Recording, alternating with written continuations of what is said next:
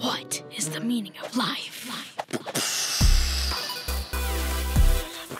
Who could answer such a question? The meaning of life? Hey, let's not panic. I'm sure there's a perfectly rational explanation for this. Hmm.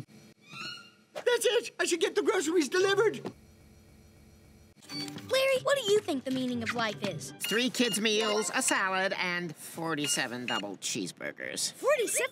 Richard! Relax. I asked for Swiss cheese. It's healthier. What? How? It's got holes in it. Mom, what do you think the meaning of life is? Hmm, now that's a tricky one. I guess it would be one cheeseburger and some carrot sticks. What? If you don't feed me properly, how do you expect me to keep my six pack? What's the meaning of life? Who could answer such a question? Well, nobody here. We better ask around.